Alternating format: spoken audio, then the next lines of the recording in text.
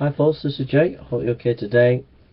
Uh, this series, 10 series of videos, is addressed to uh, academics in the university. So if you're an academic in philosophy, science, theology, um, an academic in um, in any any field in the universities, this series, uh, Francis Schaeffer and uh, the universities, is really for you to invite you as a sociologist, psychologist, scientist, philosopher, uh, to invite you really to to get a hold of Francis Schaeffer's works and to read and to think about Francis Schaeffer and how his message might relate to you in your work.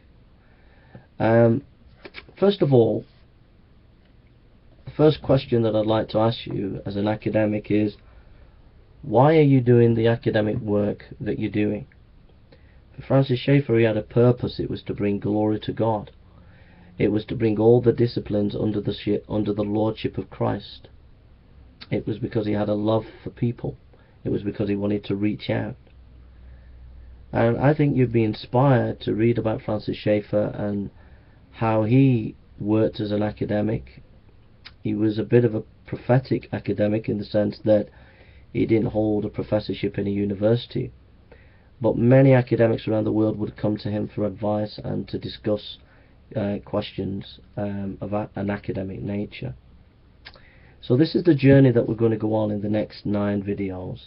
And as an academic, I would invite you to reflect on the things that I'm saying. And I hope that what I'm saying might renew you as an academic, help you to go forward as an academic.